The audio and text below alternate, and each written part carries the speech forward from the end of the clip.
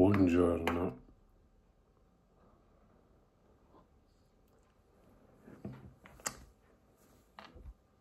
Cosa mi lasciano queste Olimpiadi che sono finite? Un po' come appassionato di sport, come giornalista, eccetera, eccetera. Due cose. La prima, che si è parlato di tutto tranne che di sport, o di quasi tutto tranne che di sport.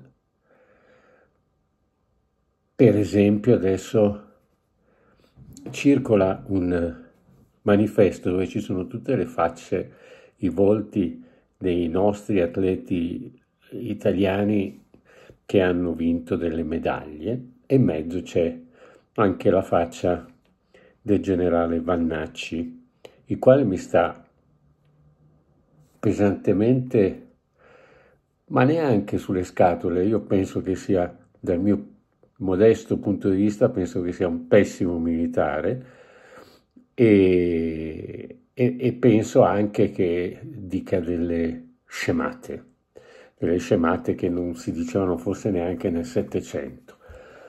Eh, ma il manifesto che circola è ancora più razzista di quello che dice il generale Vannacci perché pubblicare un manifesto facendo vedere, eh, diciamo, eh, la pigmentazione della pelle di chi ha vinto le medaglie, e beh, per notarla bisogna veramente essere molto, molto razzisti. Quindi io penso che quel manifesto sia razzista, eh, diciamo razzista radical chic e Vannacci razzista leghista, ma sempre razzisti sono e però mi lascia anche una bellissima cosa, un personaggio che io ho sempre, sempre adorato e secondo me lui è il vero alfiere olimpionico, olimpico dell'Italia, è lui che per me, a mio parere, ha vinto la medaglia più importante